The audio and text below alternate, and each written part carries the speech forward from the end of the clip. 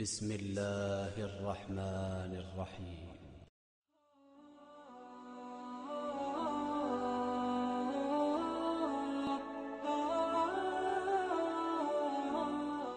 عجبا عجبت لغفلة الإنسان قطع الحياة بعزة وأمان. فكرت في الدنيا فكانت منزلا عندي كبعض نحمده ونستعينه ونستغفره ونعوذ بالله من شرور أنفسنا ومن سيئات أعمالنا. من يهده الله فلا مضل له ومن يضلله فلا هادي له. ونشهد أن لا إله إلا الله وحده لا شريك له. ونشهد أن محمدا عبده ورسوله. يا أيها الذين آمنوا اتقوا الله حق تقاته ولا تموتن إلا وأنتم مسلمون. يا أيها الناس اتقوا ربكم الذي خلقكم من نفس واحدة وخلق منها زوجها وبث منهما رجالا كثيرا ونساء واتقوا الله الذي تساءلون به والأرحام إن الله كان عليكم رقيبا يا أيها الذين آمنوا اتقوا الله وقولوا قولا سديدا يصلح لكم أعمالكم ويغفر لكم ذنوبكم ومن يطع الله ورسوله فقد فاز فوزا عظيما. فإن أصدق الحديث كتاب الله وخير الهدي هدي محمد صلى الله عليه وسلم وشر الأمور محدثاتها وكل محدثة بدعة وكل بدعة ضلالة وكل ضلالة في النار أما بعد. فقد قال الله تبارك وتعالى في محكمه التنزيل والفرقانه المجيد بعد أعوذ بالله من الشيطان الرجيم. إن الصلاة كانت على المؤمنين كتابا موقوتا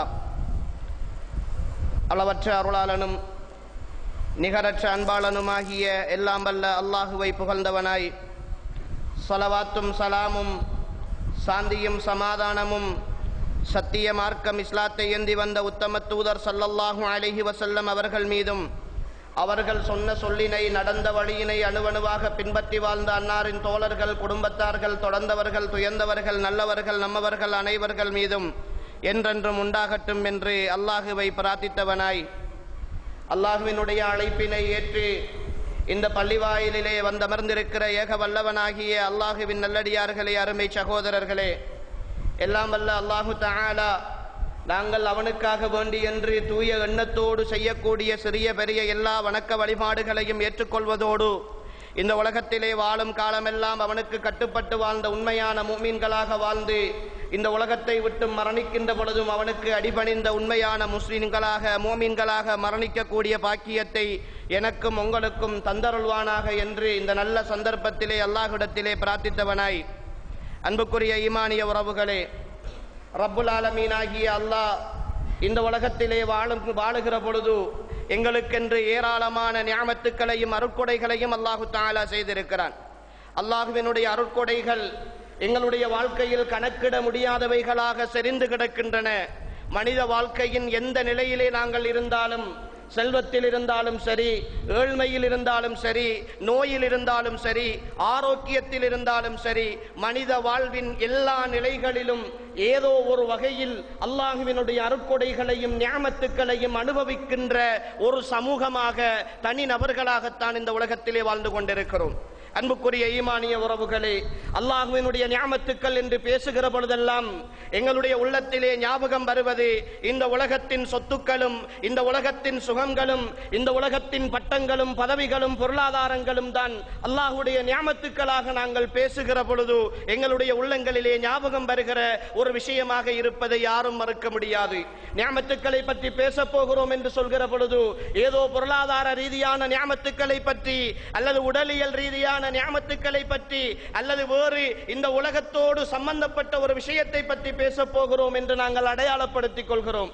ஆனால் அன்புக்குரியவர்களே இந்த உலகத்திலே என்னையும் உங்களையும் படைத்த ரப்புல் அல்லாஹ் இந்த உலகத்தின் அரசனாகிய அல்லாஹ் எங்களுக்கு செய்திருக்கிற மிக மிக மிக முக்கியமான ஞாபத்து அவனுக்கு மட்டும் கட்டுப்படக்கூடிய அவனுக்கு மட்டும் தலை சாய்க்கக்கூடிய அவனுக்கு மட்டும் சிரம்பணியக்கூடிய அல்லாஹுவினுடைய ஏகத்துவத்தை சுமந்த சமூகமாக அல்லாஹுவினுடைய ஏகத்துவத்தை சுமந்த சமூகமாக இந்த தௌஹீதினுடைய அந்த சிந்தனையை உள்ளத்திலே ஏற்ற சமூகமாக இந்த உலகத்திலே அல்லாஹ் வாழ வைத்திருப்பது அல்லாஹ் எங்களுக்கு செய்திருக்கிற மிக முக்கியமான அல்லது நாங்கள் எல்லாம் உணர மறுத்த உணர மறந்த மிக பெரும் ஒரு நியாமத்து என்பதை நாங்கள் புரிந்து கொள்ள வேண்டும்.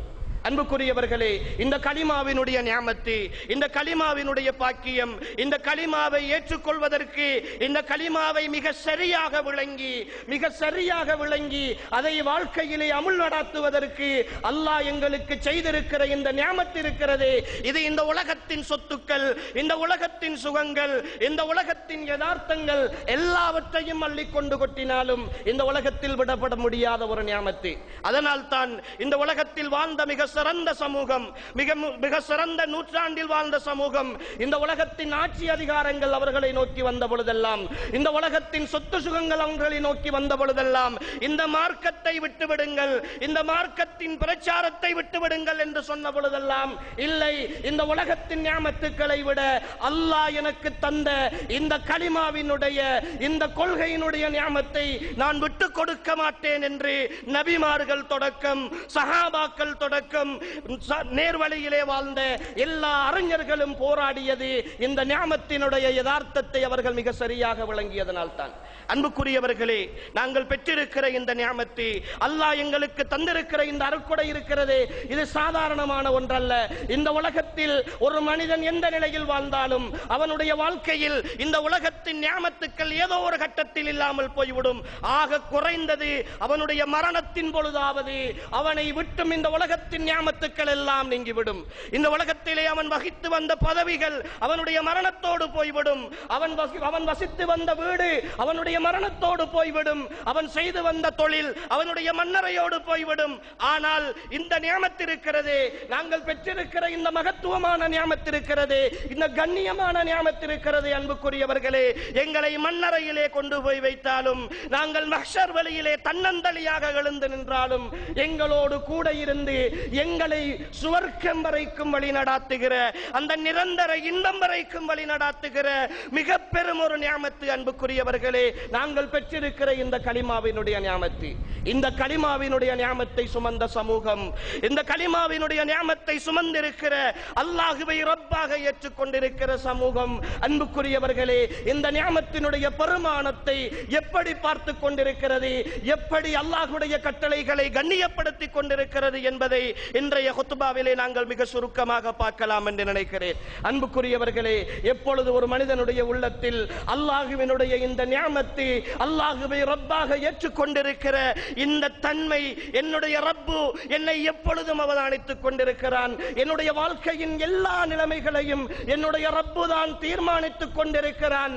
என்னுடைய வாழ்க்கையின் மாற்றங்கள் என்னுடைய வாழ்க்கையின் நிகழ்வுகள் என்னுடைய வாழ்க்கையின் சந்தோஷங்கள் என்னுடைய வாழ்க்கையின் கவலைகள் என்னுடைய நோய்கள் என்னுடைய ஆரோக்கியம் என்னுடைய குடும்பம் என்னுடைய பிள்ளை குட்டிகள் எல்லாவற்றுக்குமான தீர்மானம் என்னுடைய ரப்பினுடைய கையிலே இருக்கிறது என்ற அந்த நம்பிக்கையினுடைய ஆழம் எங்களுடைய உள்ளத்தின் அடி ஆழத்திற்கு செல்லுமாக இருந்தால் அன்புக்குரியவர்களே இந்த உலகத்திலே எங்களுடைய ரப்பினை காதலிக்க நாங்கள் ஆரம்பிப்போம். அந்த ரப்பினை நேசிக்க ஆரம்பிப்போம். அந்த ரப்பினை நேசிக்கிற சமூகமாக மாறிவிட்டால் அன்புக்குரியவர்களே அந்த ரப்பினுடைய கட்டளைகளை எங்களுடைய வாழ்க்கையில் செயற்படுத்துவதில் நாங்கள் இன்பம் கண்டவர்களாக மாறுவோம். அதனால் தான் அல்லாஹுவின் தூதர் சல்லல்லாஹு அலஹி வசல்லம் அவர்கள் சொன்னார்கள் என்னுடைய சந்தோஷம் என்னுடைய கண் குளிர்ச்சி என்னுடைய ரப்புக்கு சிரம் பணிகின்ற அந்த தொழுகையிலும் அதனை நிறைவேற்றுவதிலும் தான் எனக்கு இருக்கிறது என்று அல்லாஹுவின் தூதர் சல்லல்லாஹு அலஹி வசல்லம் அவர்கள் சொன்னார்கள். அன்புக்குரியவர்களே இந்த யதார்த்தம் ஒரு மூமியினுடைய உள்ளத்தில் ஆழமாக பதிகிற பொழுது அன்புக்குரியவர்களே அல்லாஹ்வினுடைய அழைப்பு என்றால் அல்லாஹ்வினுடைய கட்டளை என்றால் அல்லாஹ்வினுடைய தூதர் ஒரு விஷயத்தை சொல்லி இருக்கிறார்கள் என்றால் அதை செய்வது என்பது அந்த மோமினுடைய வாழ்க்கையில் மிக இலகுவானதாக மாறிவிடும். அன்புக்குரியவர்களே இந்த உலகத்தின் மனித வாழ்க்கையில் மிக பெருமதியானது உயிர்.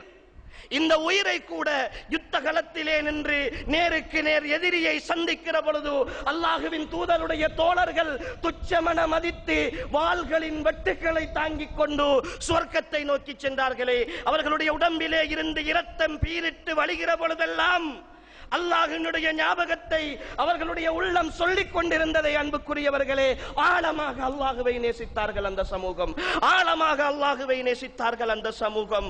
அல்லாஹுவின் தூதர் அந்த பயிற்சியை அந்த சமூகத்திற்கு வழங்கினார்கள். நாங்கள் இன்று படித்திருக்கிறோம் கொள்கைவாதிகள் என்று சொல்லிக் கொண்டிருக்கிறோம் கொள்கையை விளங்கி இருக்கிறோம். அன்புக்குரியவர்களே அல்லாஹுவை கண்ணியப்படுத்துகிற அல்லாஹுவினுடைய கட்டளைகளை கண்ணியப்படுத்துகிற விஷயத்தில் நாங்கள் எப்படி இருக்கிறோம் எப்படி அல்லாஹுவை நேசிக்கிறோம் என்பதை இங்கு அமர்ந்திருக்கிற ஒவ்வொரு ஈமானிய சகோதரனும் அவரவருடைய கடந்த கால வாழ்க்கையை கொஞ்சம் யோசித்து பாருங்கள்.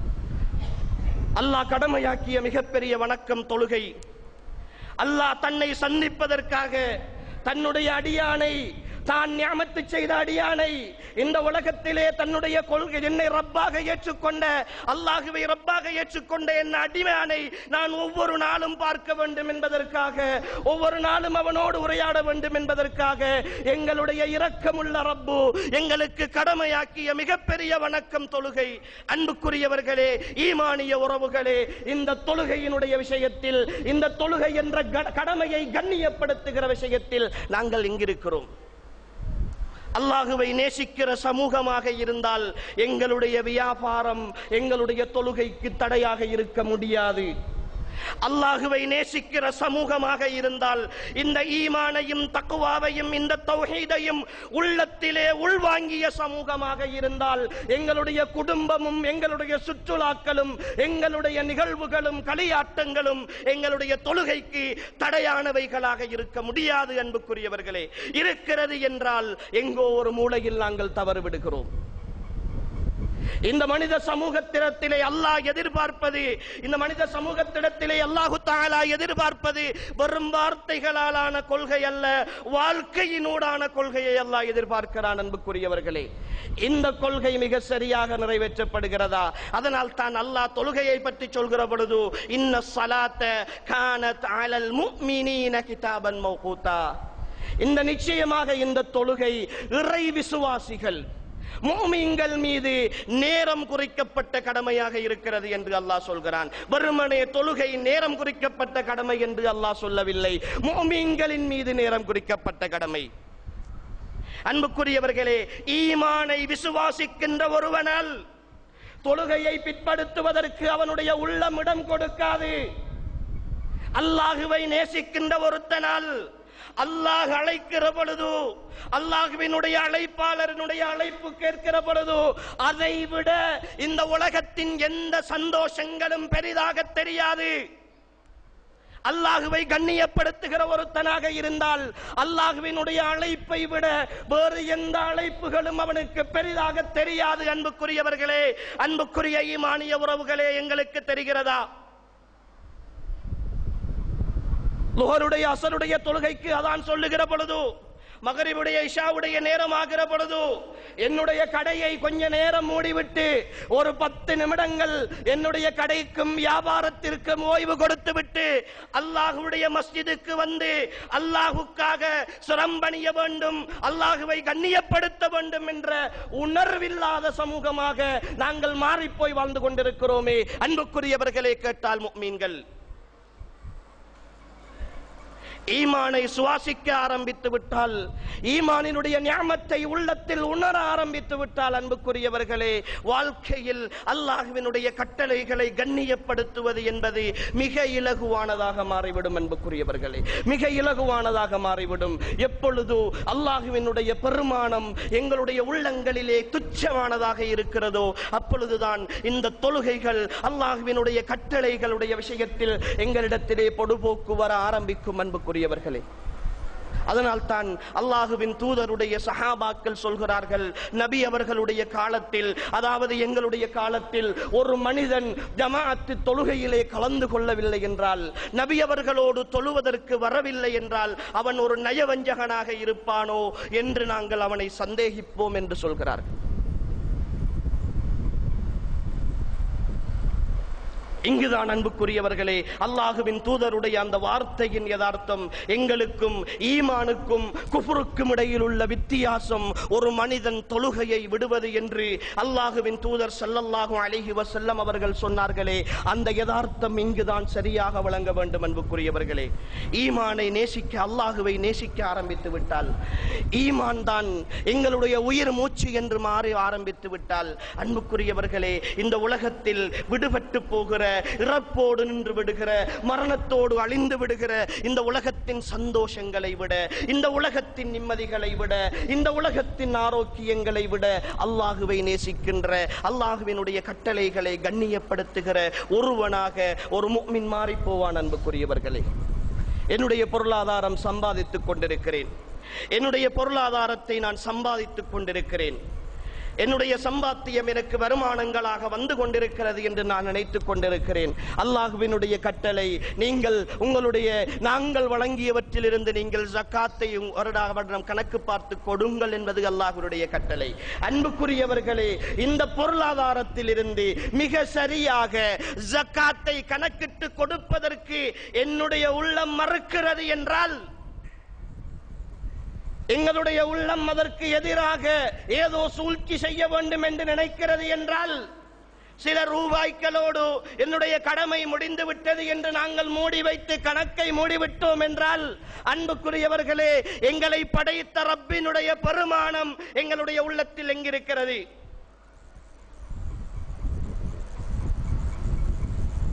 வெறுமனே இந்த கடமைகள் அன்புக்குரியவர்களே வெறும் சாக்கு போக்குக்காக அல்லது வெறும் சில செயற்பாடுகளுக்காக ஆகுமாக்கப்பட்ட கடமைகள் அல்ல அன்புக்குரியவர்களே.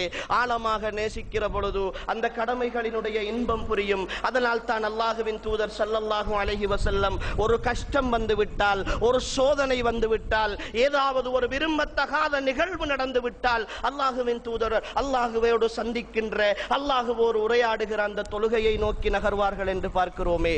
அன்புக்குரியவர்களே எங்களுடைய உள்ளம் எதை பேசிக் கொண்டிருக்கிறது எங்களுடைய உள்ளம் அல்லாஹுவை கண்ணியப்படுத்துகிற விஷயத்தில் எங்கிருக்கிறது அன்புக்குரியவர்களே? அல்லாஹுவினுடைய கடமைகளை கண்ணியப்படுத்துகிற விஷயத்தில் ஒரு சோதனை வருகிற பொழுது என்னுடைய குடும்பத்தில் ஒரு கஷ்டம் வருகிற பொழுது என்னுடைய குடும்பத்தில் ஒரு ஒரு நிம்மதியின்மை வருகிற பொழுது அன்புக்குரியவர்களே நடுநிசி வேளையிலே எழுந்து அல்லாஹ் அடிவானத்திற்கு இறங்கி வருகிற பொழுதிலே எழுந்து அல்லாஹுவிடத்திலே கையேந்தி தேவைகளை கேட்க வேண்டும் என்ற உணர்வு அந்த அல்லாஹுவை நேசிக்கின்ற அந்த தன்மை எங்களில் எத்தனை பேருக்கு அன்புக்குரியவர்களே இருக்கிறது? ஈமான் கொண்ட சமூகம். கொள்கையோடு வாழுகிற சமூகம். அன்புக்குரியவர்களே அல்லாஹுவை பற்றி பேசுகிற பொழுது சந்தோஷப்படுகிற சமூகம். அல்லாஹுவை மட்டும் வணங்க வேண்டும் என்று சொல்கிற சமூகம்.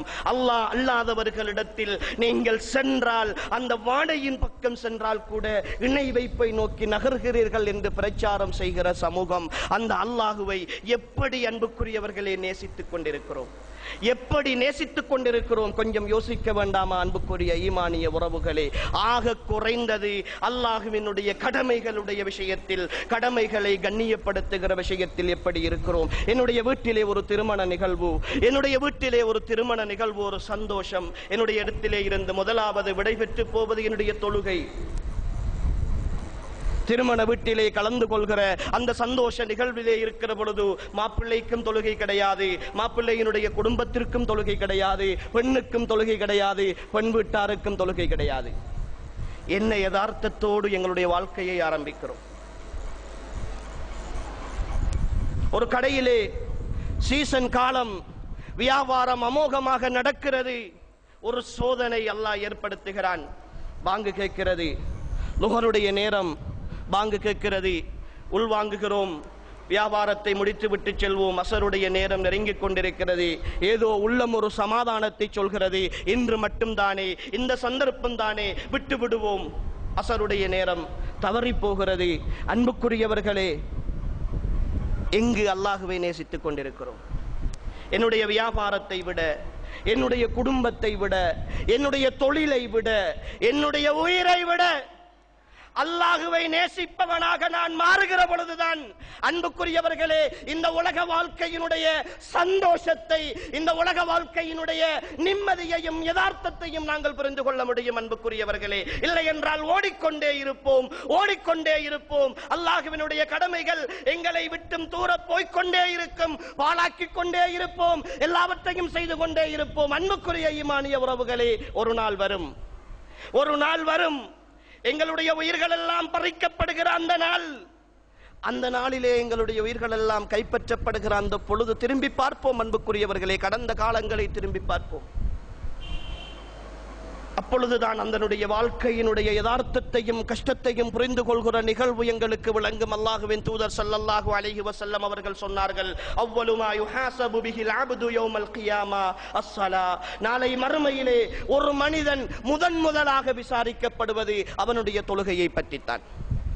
அன்புக்குரிய ஈமானிய உறவுகளே அல்லாஹுவினுடைய கடமைகளில் கண்ணியப்படுத்தப்பட வேண்டிய மிக முக்கியமான கடமை ஒவ்வொருவரும் கண்மூடி கொஞ்ச நேரம் யோசித்து பாருங்கள். இன்று இருக்கிற இந்த பதினெட்டாம் திகதி இந்த பதினெட்டோடு கடந்த மாதத்தினுடைய இந்த ஒரு மாத காலம் இந்த ஒரு மாத காலமாக குறைந்தது ஐந்து நேர தொழுகையையும் நான் தவறாமல் ஜமாத்தோடு பேசிக் கொண்டிருக்கிற நானும் தான் கேட்டுக்கொண்டிருக்கிற நீங்களும் தான். அன்புக்குரியவர்களை சரியாக தொழுதிருக்கிறோமா? இந்த நிமிடம் பேசிக்கொண்டிருக்கிற இந்த மிம்பர் மேடையில் வைத்து எனக்கு மரணம் வந்தால் கேட்டுக்கொண்டிருக்கிற நீங்கள் ஒவ்வொருவரும் உங்களுடைய வீடுகளுக்கு செல்வதற்கு முன்னால் மரணம் வந்தால் நீங்கள் மண்ணறையிலே அடக்கப்பட்டு மஹ்ஷருடைய வெளியினை சந்திக்கின்ற அந்த நொடி வந்தால் அன்புக்குரியவர்களே அல்லாஹ் எங்களிடத்திலே கேட்கிற அந்த கேள்வி ஒரு மாதத்தினுடைய தொழுகையை பற்றி அல்ல. நான் பருவ வயதை அடைந்த காலத்திலே இருந்து நான் விட்ட தவறுகளை பற்றி விசாரிக்கிற பொழுது என்ன பதில் சொல்லப் போகிறேன்? அந்த ரப்பு விசாரிப்பானே? அன்புக்குரிய ஈமானிய உறவுகளே கடமைகளை கண்ணியப்படுத்துகிற விஷயத்தில் அல்லாஹுவை நேசிக்க ஆரம்பித்து விட்டால் அல்லாஹுவை நேசிக்க ஆரம்பித்து விட்டால் இந்த உலகத்தை விட இந்த உலகத்தின் இன்பங்களை விட அல்லாஹுடைய மார்க்கமும் அல்லாஹுடைய கட்டளையும் அல்லாஹுடைய தூதரும் தான் எனக்கு உயிரை விட மேலானவர்கள் என்று நேசிக்க ஆரம்பித்து விட்டால் அன்புக்குரியவர்களே என்னுடைய கடையை ஒரு பத்து நிமிடம் ஒரு பதினைந்து நிமிடம் என்னுடைய கஸ்டமர்களை காத்திருக்க செய்துவிட்டு பள்ளி வாயிலுக்கு வருவது என்பது எனக்கு ஒரு கஷ்டமான விஷயமாக இருக்காது. எனக்கு ஒரு சோதனையான விஷயமாக இருக்காது. என்னுடைய பொருளாதாரத்திலே வேலைகளுக்குரிய பங்கை மிக சரியாக நான் கணக்கு பார்த்து கொடுப்பது எனக்கு அல்லாஹுவை நேசிக்கிற பொழுது எனக்கு கஷ்டமாக இருக்காது. ரமலானுடைய காலங்களில் நான் நோன்பை நோட்பதிலும் என்னுடைய நோன்பு காலை வணக்கங்களில் ஈடுபடுவதிலும் எனக்கு தடைகள் இருக்காது அன்புக்குரியவர்களே. நேசம் உள்ளத்திலே வர வேண்டும். நேசம் வருகிற பொழுது தானாக கண்ணியம் வரும்.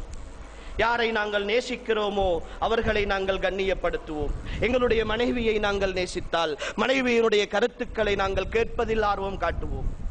எங்களுடைய பிள்ளைகளை நாங்கள் நேசிக்கிற பொழுது எங்களுடைய பிள்ளைகளை நல்ல முறையிலே வழிப்படுத்த வேண்டும் என்று அவர்களுடைய அபிப்பிராயங்களை பெற்றுக்கொள்வதில் நாங்கள் ஆர்வம் காட்டுவோம். எங்களுடைய பெற்றோரை நாங்கள் நேசிக்கிற பொழுது அவர்களை கண்ணியப்படுத்த வேண்டும் என்று நாங்கள் நினைப்போம். அன்புக்குரியவர்களே எங்களுடைய ரப்பையும் அந்த ரப்பினுடைய தூதரையும் நாங்கள் நேசிக்கிற பொழுது அந்த ரப்பினுடைய கட்டளைகளை கண்ணியப்படுத்த வேண்டும் என்று நாங்கள் நினைப்போம் அன்புக்குரியவர்களே. எனவே ஈமானிய உறவுகளே அல்லாஹ்வினுடைய கட்டளைகள் எங்களால் வீணடிக்கப்படுகிறது என்றால் அல்லாஹ்வினுடைய கட்டளைகள் எங்களுடைய உள்ளத்திலே மதிப்புழந்து போகிறது என்றால் பாங்கு சொல்லுகிற பொழுது இப்பொழுதுதானே பாங்கு கேட்கிறது கொஞ்சம் சுணங்கி தொழுது கொள்வோம் என்று நாங்கள் நினைக்கிறோம் என்றால் அன்புக்குரியவர்களே எனக்கும் தான் உங்களுக்கும் தான் ஈமான் என்கிற அந்த அடிப்படையில் இருந்து கொஞ்சம் நாங்கள் தவறிப் போய்க் கொண்டிருக்கிறோம். புரிந்து கொள்ள வேண்டும் அன்புக்குரியவர்களே. புரிந்து கொள்ள வேண்டும்.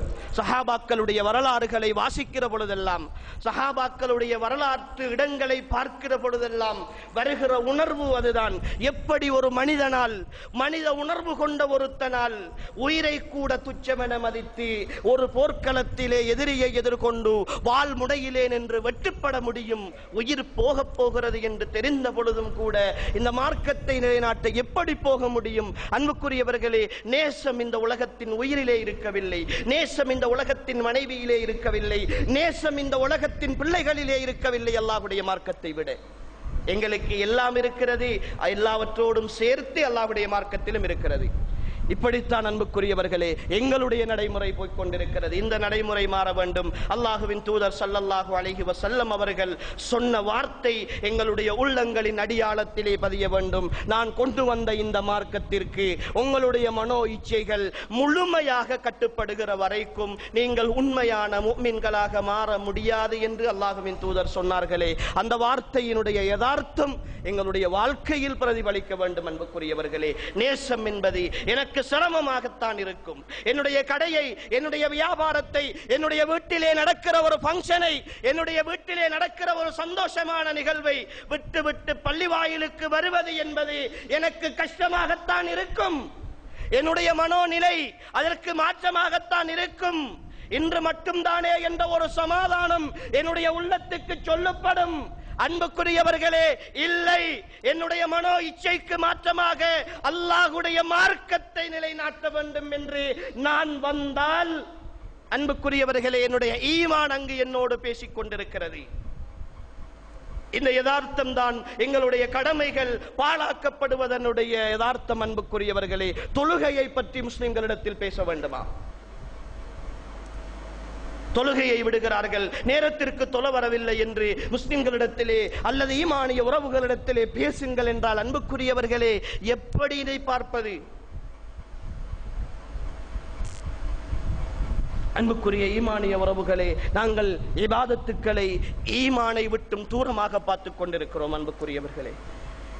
ஈமானை விட்டும் தூரமாக பார்த்துக் கொண்டிருக்கிறோம். அந்த தூரப்படுத்தல் தான் எங்களை அல்லாஹுவினுடைய கட்டளைகளை கண்ணியப்படுத்துவதை விட்டும் எங்களை தூரப்படுத்திக் கொண்டிருக்கிறது. அல்லாஹினுடைய கட்டளைகளை கௌரவப்படுத்தி அதை சிரமேற்கொண்டு அதை நாங்கள் உரிய நேரத்திற்கு நிறைவேற்றி விட வேண்டும் என்கிற அந்த துடிப்பும் தவிப்பும் எங்களுடைய உள்ளத்தில் இல்லாமல் போனதற்கு அதுதான் அன்புக்குரியவர்களே காரணம். எங்களுடைய ஈமானை வெளிப்படுத்தவில்லை ஈமான் வலுப்பெறுகிற பொழுது நம்பிக்கை வலுப்பெறுகிற பொழுது பேச்சிலே அல்ல செயற்பாட்டிலே வருகிற பொழுது யதார்த்தமாக நடைமுறைப்படுத்தப்படுகிற பொழுது இந்த சமூகத்தின் மத்தியிலே தொழுகையை பற்றி பேசுகிற தேவையே இருக்காது. ஜக்காத்தை பற்றி பேசுகிற தேவையே இருக்காது. ஹஜ்ஜை பற்றி பேசுகிற தேவையே இருக்காது அன்புக்குரிய ஈமானிய உறவுகளே அல்லாஹுவினுடைய நல்லடியார்களே. எனவேதான் கடமைகளை கண்ணியப்படுத்துகிற விஷயத்தில் நாங்கள் பொடுபோக்காக இருப்பதற்கு காரணம் எங்களுடைய ஈமானினுடைய அந்த யதார்த்தத்தை எதற்காக நாங்கள் ஈமான் கொண்டிருக்கிறோம்? யாரை ஈமான் கொண்டிருக்கிறோம்? எந்த ரப்பை நாங்கள் நேசித்துக் கொண்டிருக்கிறோம் என்பதை மிக சரியாக விளங்காமல் இருக்கிறோம் அன்புக்குரியவர்களே. வல்லவன் அல்லாஹ் அந்த ரப்பினை மிக சரியாக விளங்கி எங்களுடைய வாழ்க்கையிலே மிக நேர்த்தியாக நடைபெறுவதற்குரிய பாக்கியத்தை எனக்கும் உங்களுக்கும் தந்தருள்வானாக வாஹ்ர தஅவானான் அல்ஹம்துலில்லாஹி ரப்பில் ஆலமீன் அல்ஹம்துலில்லாஹி வஹ்தஹ والصلاة والسلام على من لا نبي بعده وعلى آله وأصحابه الذين اصطفاه أما بعد அன்புக்குரியவர்களே அல்லாஹ்வினுடைய கடமைகள் இந்த ஈமானிய சமூகத்தால் எப்பொழுதும் பால்படுத்தப்பட்டு விடக்கூடாது அது கண்ணியப்படுத்தப்பட்டு கொண்டே இருக்க வேண்டும். ஏனென்றால் அல்லாஹுவினுடைய கடமைகளை கண்ணியப்படுத்துவதற்காகத்தான் இந்த உலகத்திலே அல்லாஹ் எங்களை முஸ்லிம்களாக ஆக்கியிருக்கிறான். அந்த ஈமான் என்கிற ஞாபத்தை எங்களுக்கு தந்திருக்கிறான். அந்த ஞாமத்தோடு சேர்த்துத்தான் அவனுடைய கடமைகளையும் மிக பெரும் ஞாமத்துக்களாக அருள்களாகத்தான் அல்லாஹு தாலா எங்களுக்கு தந்திருக்கிறான். அவைகளை எங்களுக்கு சோதனைகளாக சிரமங்களாக கஷ்டங்களாக அல்லாஹு தாலா ஒரு பொழுதும் அமைத்து தரவில்லை அன்புக்குரியவர்களே. நாங்கள் எப்பொழுதும் இபாதத்துக்களை அல்லாஹுவினுடைய வணக்கங்களை கடமைகளை பாரமாக நாங்கள் நினைத்து விடக்கூடாது நாங்கள் செய்கிற தவறுகளுக்கான பரிகாரங்கள் எங்களுடைய தேவைகளை நாங்கள் கேட்டு பெற்றுக் கொள்வதற்கான சந்தர்ப்பங்கள்.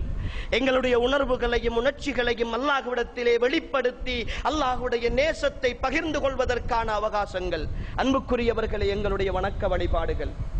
அந்த வணக்க வழிபாடுகளை நாங்கள் மிக சரியாக நிறைவேற்ற வேண்டும் அன்புக்குரியவர்களே. மிக சரியாக மிக ஆழமாக அதை உணர்ந்து நிறைவேற்றுகிற பொழுது எங்களுடைய வாழ்க்கையில் நிறைய மாற்றங்களை நாங்கள் காணலாம்.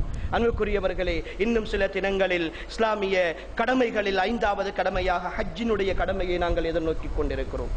புனிதமிக்க மக்கமா நகரை நோக்கி ஹாஜிகள் எல்லாம் போய்க்கொண்டிருக்கிற ஒரு காலகட்டத்திலே இருக்கிறோம். அன்புக்குரியவர்களே ஹஜ்ஜினுடைய கடமை.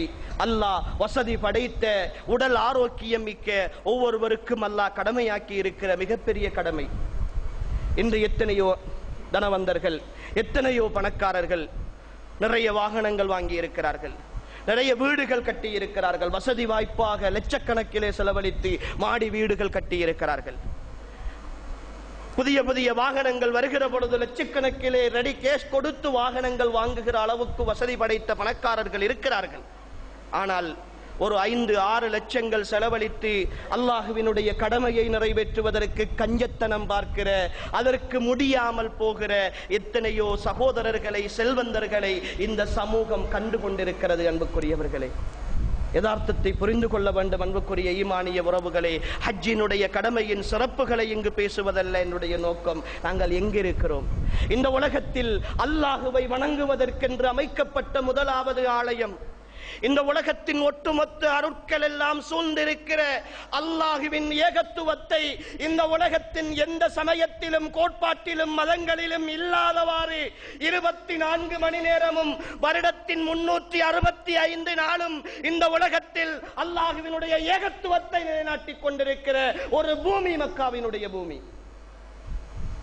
அங்கு இருக்கிற சந்தோஷம் அங்கு கிடைக்கிற நிம்மதி அந்த இடத்தை பார்க்கிற பொழுது வருகிற ஆனந்தம் இந்த உலகத்திலே அன்புக்குரியவர்களை வார்த்தைகளால் வர்ணிக்க முடியாது. அனுபவிப்பவர்கள் புரிந்திருப்பார்கள். அங்கு சென்று பார்த்தவர்கள் தெரிந்திருப்பார்கள். அதை பார்க்கிற பொழுதெல்லாம் புதிதாக வருகிற உணர்வுகள் அன்புக்குரியவர்களே அல்லாஹுவிடத்திலே கெஞ்ச வேண்டும் என்கிற அந்த யதார்த்தம் அந்த இடத்தை பார்ப்பதற்கு அந்த புனித தலத்திலே மிதிப்பதற்கு அந்த இடத்திலே ஒரு இரண்டு ரக்காத்துக்கள் தொழுவதற்கு ஒரு ரக்காத் தொழுதால் ஒரு லட்சம் ரக்காத்துக்கள் தொழுத நன்மையை ஈட்டித் தருகிற அந்த இடத்தை சென்று பார்ப்பதற்கு ஆசை இல்லாத கல்லஞ்சக்காரர்களாக என்னுடைய ஈமானிய சமூகம் மாறிவிட்டதே என்பதை பார்க்கிற பொழுதுதான் அன்புக்குரிய ஈமானிய உறவுகளே கவலைப்படுகிறோம். إن أول بيت وضع للناس للذي ببكة مباركا وهدى للعالمين. فيه آيات بينات مقام إبراهيم ومن دخله كان آمنا. الله அவனுடைய அருள்மறையிலே புகழ்ந்து பேசிய யாரெல்லாம் அந்த இடத்திற்குள் நுழைந்து விடுகிறார்களோ அவர்களெல்லாம் அச்சம் தீர்ந்து பாதுகாக்கப்பட்ட மக்கள் என்று சொல்லுகிற அந்த இடத்திற்கு போய் பார்க்க வேண்டும் என்ற ஆசை இல்லாதவர்களாக அன்புக்குரியவர்களே எங்களுடைய பொருளாதாரமும் எங்களுடைய தொழில்களும் எங்களுடைய சொத்துக்களை கணக்கு பார்ப்பதும் எங்களை தடுத்து கொண்டிருக்கிறது என்றால் அன்புக்குரிய ஈமானிய உறவுகளே வாய்ப்புகளை தந்த அல்லாஹ் வசதிகளை தந்த அல்லாஹ் எத்தனையோ ஏழைகள் எத்தனையோ வசதி இல்லாதவர்கள் அந்த இடத்தை ஒரு முறையாவது பார்த்து விட வேண்டுமே என்ற ஏக்கத்தோடு புகைப்படங்களிலும் வீடியோக்களிலும் பார்த்து தன் உள்ளத்திலே புழுங்கிக் கொண்டிருக்கிற பொழுது அல்லாஹ் வசதியை தந்து வாய்ப்பை தந்து செல்வத்தை தந்து ஆரோக்கியத்தை தந்து அன்புக்குரியவர்களே போய் பார்ப்பதற்கு மனம் இல்லாமல் இறுகி போயிருக்கிறோம் என்றால் இறுகி போன உள்ளத்தோடு இருக்கிறோம் என்றால் இந்த பொருளாதாரம் தான் அது குறைந்து விடும் என்று நினைத்துக் கொண்டிருக்கிறோம் என்றால் அன்புக்குரியவர்களே மரணத்தை கொஞ்சம் நினைத்து பார்க்க வேண்டாமா? என்று எத்தனையோ சகோதரர்கள் உழைக்கிறார்கள் சம்பாதிக்கிறார்கள் சம்பாதித்துக் கொண்டே இருக்கிறார்கள். அறுபது எழுபதை தாண்டிய பொழுது நடக்க முடியாமல் இன்னும் ஒருவருடைய உதவியோடு தள்ளுவண்டியிலே போகிற ஒரு காலத்திலே ஹஜ்ஜி செய்வோம் என்று புறப்பட்டு போகிறார்கள். அன்புக்குரியவர்களே எத்தனையோ வயோதிபர்களை கண்ணூடாக காண்கிறோம். ஒரு நேர தொழுகைக்கு வந்தால் நான்கு நேர தொழுகைக்கு வர மாட்டார்கள் வீடு அவர்களுடைய அறைகளிலே தங்கி தொழுதுவிட்டு செலவழித்து வந்ததற்குரிய சரியான எதார்த்த பலனை அடைந்து கொள்ள முடியாமல் வீடு திரும்புகிற எத்தனையோ வயது இவர்கள் உண்மையிலேயே முடியாது அவர்களால். அன்புக்குரியவர்களே உடலிலே ஆரோக்கியம் இருக்கிற பொழுது உடலிலே இருக்கிற பொழுது வசதி வாய்ப்பு இருக்கிற பொழுது அந்த கடமையை நிறைவேற்றுவோம் அன்புக்குரியவர்களே. அல்லாஹுவை கண்ணியப்படுத்துவோம். அல்லாஹ் தந்த இந்த வாய்ப்பு வசதிகளுக்காக கண்ணியப்படுத்துவோம் அன்புக்குரியவர்களே. எத்தனை நாள் செல்வந்தர்களாக வாழ்ந்துவிடப் போகிறோம்?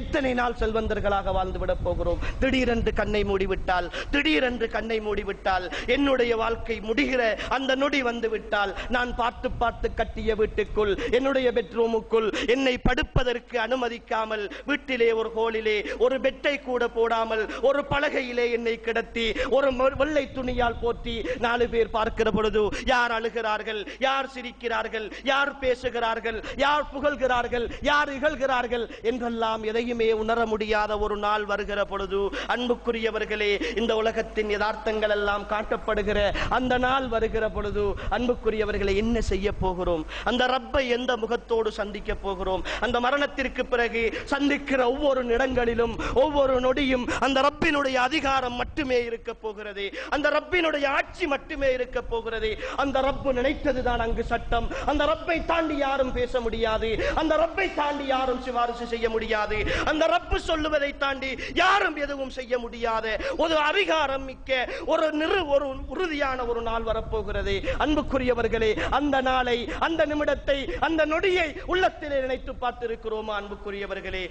தொழில் செய்து கொண்டிருக்கிறோமே கடையிலே நிற்கிற பொழுது என்னுடைய பருளை நான் வீணாக்கி நிற்கிற பொழுது என்னுடைய கடமையை நான் தொழாமல் நிற்கிற பொழுது மேலிழுத்த மூச்சு கீழே வராமல் ஒரு மாரடைப்பிலே நான் மரணித்து போனால் அன்புக்குரியவர்களே அல்லாஹுடைய கடமையை பாழாக்கிய முகத்தோ எந்த முகத்தோடு நான் அல்லாஹ்வை சந்திக்க போகிறேன். என்றாவது ஒரு நாள் ஈமானிய உறவுகளே சிந்தித்திருக்கிறோமா? மறுமையை நம்பிய சமூகம் அல்லவா? ஈமான் கொள்ள வேண்டிய ஆறு விடயங்களில் மறுமை நாளையும் நம்பிய சமூகம் அல்லவா நாங்கள்? இந்த மறுமையினுடைய யதார்த்தத்தை புரிந்த சமூகம் அல்லவா? அல் குரானை வாசிக்கிற பொழுதெல்லாம் மறுமையை பற்றி பேசுகிறதே மறுமையினுடைய யதார்த்தத்தை பற்றி பேசுகிறதே மக்காவிலே இறங்கிய வசனங்கள் எல்லாம் மறுமையை பற்றி எங்களுக்கு ஞாபகம் ஊட்டிக் கொண்டிருக்கிறது அல் குரானையும் சுண்ணாவையும் பின்பற்றுகிற சமூகம். என்ன யதார்த்தத்தை குரானிலே இருந்து புரிந்திருக்கிறோம் கூடியவர்கள் என்ன யதார்த்தத்தை குரானிலே இருந்து புரிந்திருக்கிறோம்? மறுமைக்கான என்ன கட்டமைப்பு என்ன வாழ்க்கை அன்புக்குரியவர்களை வாழ்ந்து கொண்டிருக்கிறோம்? எல்லோரும் அல்ல அன்புக்குரிய ஈமானிய உறவுகளே இங்கு பேசுகிற விஷயங்கள் பொதுப்படையாக பேசுகிறோம். இருப்பவர்கள் இல்லாதவர்கள் அன்புக்குரியவர்களே மாற்றங்களை நோக்கி நகருங்கள். நாங்கள் ரப்பை கண்ணியப்படுத்த வேண்டும் அன்புக்குரியவர்களே. திடீர் மரணங்கள் மிக வேகமான மரணங்களை சந்தித்துக் கொண்டிருக்கிற ஒரு காலம். எத்தனையோ விபத்துக்களூடாக எத்தனையோ இளம் வாலிபர்களை ஜனாசாக்களாக அடக்கம் செய்தவர்கள் நாங்கள். என்றோ ஒரு நாள் மரணித்து போகிற இந்த வாழ்க்கையிலே எங்களுடைய ரப்பை மறந்து வாழ்ந்து கொண்டிருக்கிறோமே அன்புக்குரியவர்களே.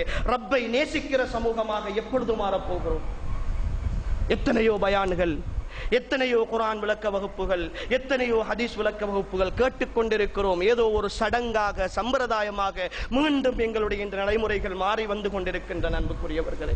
வாழ்க்கையில் நடைமுறை வேண்டும். மறுமையினுடைய குர்ஆனிய வசனம் ஒன்றை படித்தால் அந்த வசனம் என்னுடைய வாழ்க்கையில் எப்படி பிரதிபலிக்கிறது என்று எங்களுடைய வாழ்க்கையை பார்க்க வேண்டும் அன்புக்குரியவர்களே. நாங்கள் எப்படி பழகி இருக்கிறோம் தெரியுமா? ஒரு விஷயத்தை கேட்டால் மற்றவர்களோடு ஒப்பிட்டு பார்த்து பழகி இருக்கிறோம்.